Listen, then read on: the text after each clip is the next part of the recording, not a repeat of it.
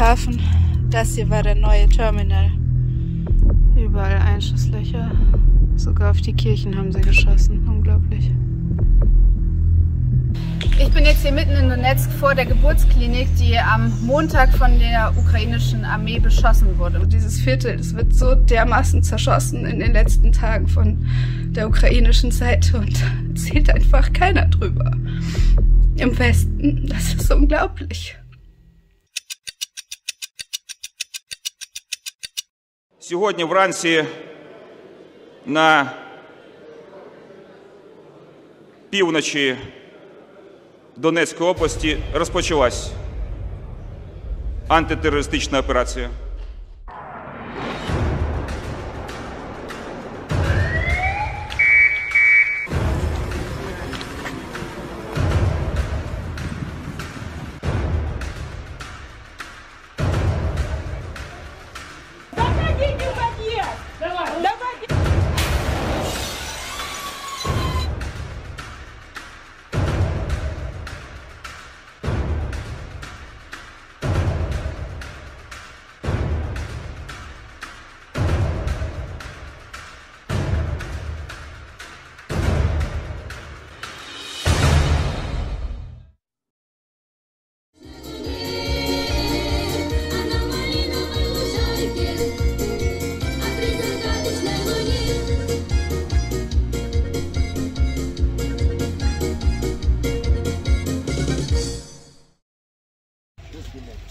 Hallo, wir fahren jetzt wieder mit André in die graue Zone.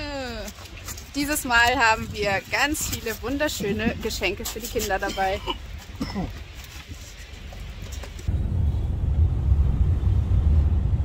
So, wir sind jetzt in Gorlovka angekommen und wurden schon wärmstens erwartet. Я тебе и вот Все, нам двоим.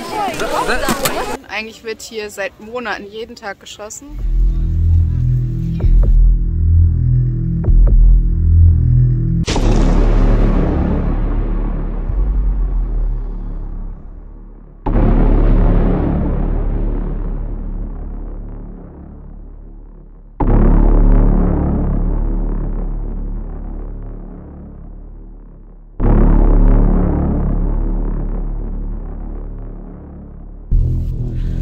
Gerade erzählt, der äh, Sascha wurde hier in seinem Garten verwundet, wurde auf ihn geschossen. Seitdem hat er keine Beine mehr.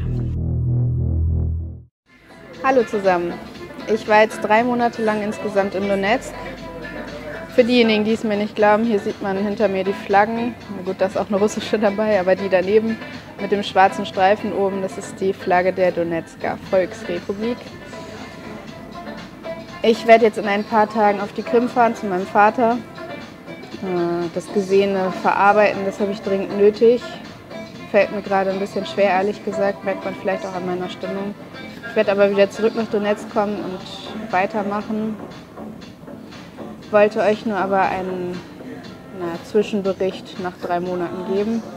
Was kann man dazu sagen zum Leben in Donetsk? Das Zentrum ist ein normales Stadtzentrum mit Cafés, wie man hier sieht. Ich trinke hier einen Cappuccino, der für die Menschen, die hier leben, viel zu teuer ist, aber für uns, ich meine, das kostet einen Euro. Ähm, Für die Deutschen ist es natürlich nichts. Geschäfte sind geöffnet, man kann hier alles bekommen, selbst Dinge wie Reismilch oder alkoholfreien Glühwein aus Deutschland. Selbst sowas habe ich gesehen. Äh, Die Wirklichkeit sieht aber doch anders aus. Am Anfang dachte ich, Mann, das ist ja alles gar nicht so schlimm. Die Leute leben ein normales Leben. Aber wenn man sich dann mit denen unterhält, dann merkt man doch, dass sie sehr unter dem Krieg leiden. Man hört permanent Schüsse in der Ferne von der Grenze. Und mh, naja, die meisten Menschen leben eben nicht im Zentrum, sondern doch in den Randgebieten, wo es teilweise kein fließend Wasser gibt, wo auch mal die Heizung ausfällt, so wie bei mir. Ich habe auch bei minus 15 Grad draußen äh, dann im Wintermantel in meinem Bett geschlafen. Ich weiß, wie lustig das ist. Nicht lustig. Ähm, vor allem die Menschen in der grauen Zone, was man da sieht, also Menschen ohne Beine, kranke Menschen, Menschen, die in total heruntergekommenen Häusern mit kaputtem Dach leben, ohne Heizung, unterernährt. Ihr wisst, ich habe dann angefangen mit Andrei Lysenko ähm, eben Essen und auch Schokolade und sowas jetzt zu Weihnachten in diese Zonen zu bringen. Das ist unbegreiflich. Oh, ich kriege schon Gänsehaut. Ähm, wie- wie die Menschen sich da freuen über so ein bisschen Schokolade. Hm. Die, die haben einfach keine Freude mehr. Die leiden seit acht Jahren unter diesem Krieg und es ist, es ist wirklich, wirklich, wirklich hart.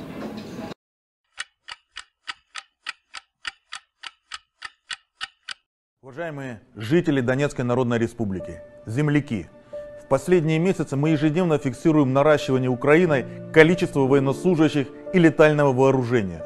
Поэтому с сегодняшнего дня, 18 февраля, организован массовый централизованный выезд населения в Российскую Федерацию. Сегодня мной подписан указ о всеобщей мобилизации. Обращаюсь ко всем мужчинам республики, способным держать в руках оружие. Встать на защиту своих семей, своих детей, жен, матерей. Hallo zusammen, ich bin jetzt wieder in Donetsk. Ich bin gerade eben eingereist und hier jetzt wieder zu Hause, wo ich wohne. Die Einreise war nicht ganz so leicht wie immer. Also die sind sehr skeptisch natürlich, wenn sie sehen, ich bin in Deutschland geboren, ich habe einen Akzent, die haben viele Fragen gestellt. Aber hat alles geklappt. Ähm, ich habe die Zeltlager gesehen für die Flüchtlinge aus dem Donbass. Äh, ansonsten, ich habe hier kein Wasser. Ja, das ist Trinkwasser. Das da unten ist so ein großer Kanister, der mir netterweise äh, vollgefüllt wurde mit so Regenwasser. Damit muss ich mich jetzt waschen. Ähm, die Ukrainer haben nämlich eine Wasserfilterlage Anlage zerstört. Sorry, ich bin müde. ähm, ja, nicht ganz so witzig. Und ansonsten sagen die auch, ähm, die, wo ich gemietet habe, dass das schon heftig war jetzt die letzten Tage, ziemlich intensiv und laut geschossen. Einige sind auch ins Stadtzentrum vorübergehend umgesiedelt. Ja, ansonsten ist es jetzt aber recht still. Also ich habe auch, ich habe es nicht knallen gehört bisher draußen. Gucken wir uns mal morgen die Lage an. Ich werde mich melden. Okay. As you can see, blue sky, a little wind, not too cold, quiet. Ja. But uh, I think that's going to change pretty soon. I think there's going to be a lot of shooting around here. Uh, how was it the last days? Mm, last few days, uh, a lot of shooting since uh, since Russia announced that they were going to recognize the republics and bring in uh, peacekeepers. Uh, the Ukrainians have uh, uh, escalated their provocations quite a great deal. Uh, right now, there's no water here in Petrovsky district.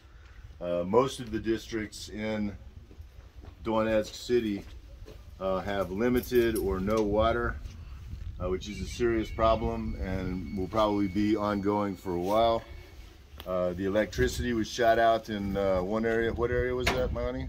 Where the electricity was bombed? Oh, next to the um, hospital here in Petrovsky. Here also, the electricity was shot out, and then when the repaired when the repairmen went, uh, they were bombed again. So uh, it's continued provocations. Uh, Russia, I think, uh, very shortly is going to put an end to it uh, the hard way, and that's the only way this war will end. So the sooner that we do it, the better. Uh, good luck to all good people. Bad luck for Nazis, but uh, we'll put them out of their misery.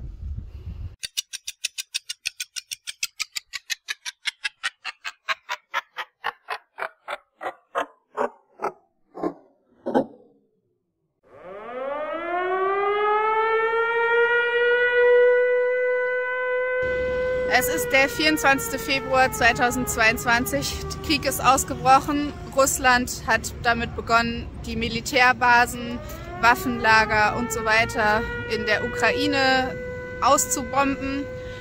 Kharkov wurde eingenommen, die Stadt äh, wird berichtet. Hier in Donetsk im Zentrum ist es recht ruhig. Ähm, Im Hintergrund sind Explosionen zu hören, aber das ist für die Bewohner nichts Neues. Sie gehen ihrem Alltag nach. Dennoch sind die Straßen vergleichsweise leer. Äh, hier sieht man hinter mir ein Plakat. Wir sind der russische Donbass. Also die Leute hier, die wollen wirklich zu Russland gehören, die feiern die aktuelle Situation.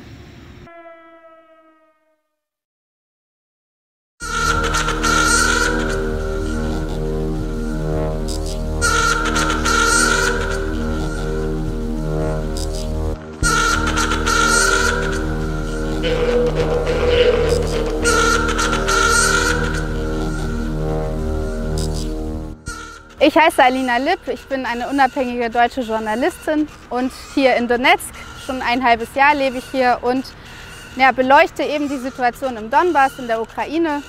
Und dafür äh, wurde ich jetzt von den deutschen Behörden, ja, man kann schon sagen, angegriffen. Also zuerst wurde mir nur mein Material gelöscht auf verschiedenen Plattformen im Internet. Dann wurde mir mein Bankkonto geschlossen. Es wurde das Bankkonto meines Vaters geschlossen. Und gestern habe ich Dokumente von der Staatsanwaltschaft bekommen, dass jetzt sogar ein, ja, ein Strafverfahren gegen mich eröffnet wurde.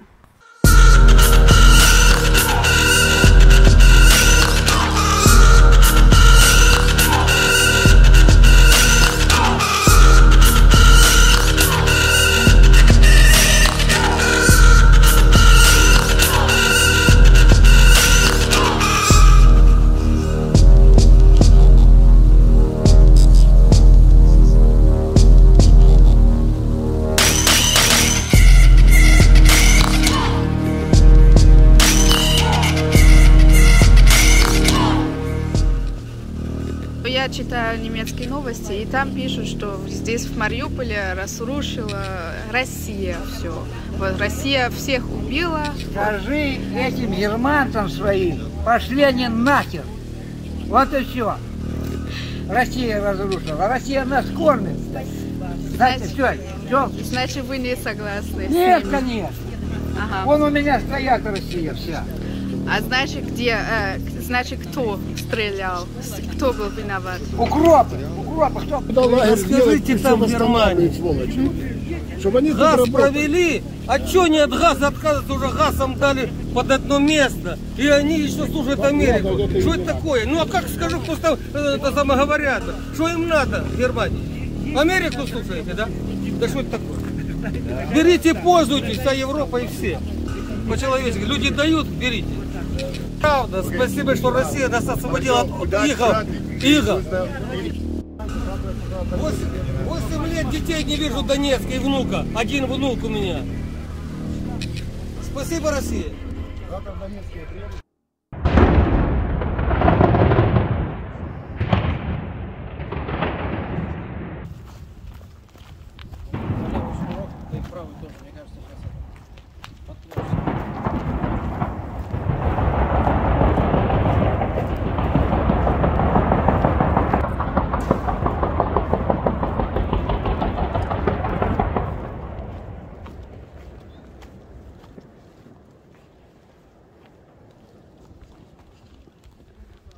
Und was macht das mit einem, wenn man hier so lebt in Donetsk? Es macht sehr viel mit einem, würde ich sagen. Es ist ja auch nicht nur, dass es nur einmal am Tag Wasser gibt, sondern es gibt auch viel weniger frische Lebensmittel, als ich es gewohnt bin, was auf die Gesundheit schlägt.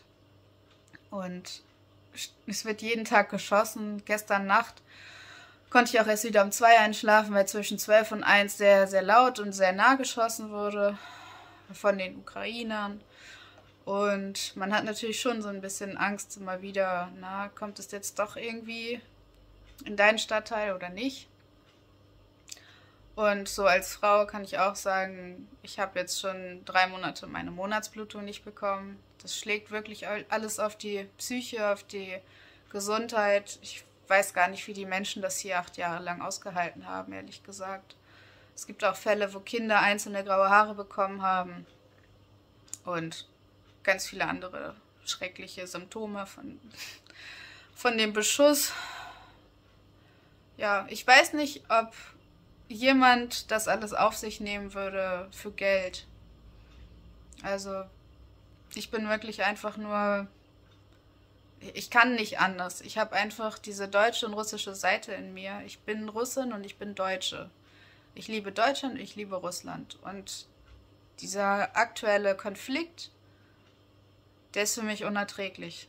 Dieser Konflikt zwischen den beiden Ländern. Deshalb, und hier ist das Zentrum dieses Konflikts, die Ursache. Deshalb kann ich nicht anders als hier zu sein und mein Bestes zu tun, ähm, dass beide Seiten sich besser verstehen. Ich vermittle zwischen beiden Seiten, ich übersetze vor allem eben diese russischen Nachrichten, die in Deutschland eben nicht ankommen. Und ich finde das absolut heftig, dass die deutschen Medien tatsächlich, so wie in diesem Monitorbeitrag jetzt vorgestern, diskutieren, dass man ja eigentlich, dass es gefährlich ist, die russische Meinung in Deutschland zu zeigen. Also es ist gefährlich, die Meinung eines anderen Landes darzustellen. Wie bitte? Wo ist die Meinungsfreiheit? Damit sagen die doch automatisch, die geben doch automatisch damit zu, dass Deutschland mittlerweile eine Diktatur ist, wo es keine Meinungsfreiheit mehr gibt, wo nur noch eine Meinung akzeptiert und gehört werden darf. Das ist einfach nur unfassbar. Naja, aber ich wollte euch das alles einfach mal zeigen und euch das mitteilen. Liebe Grüße. Все будет хорошо. Да. Мы победим.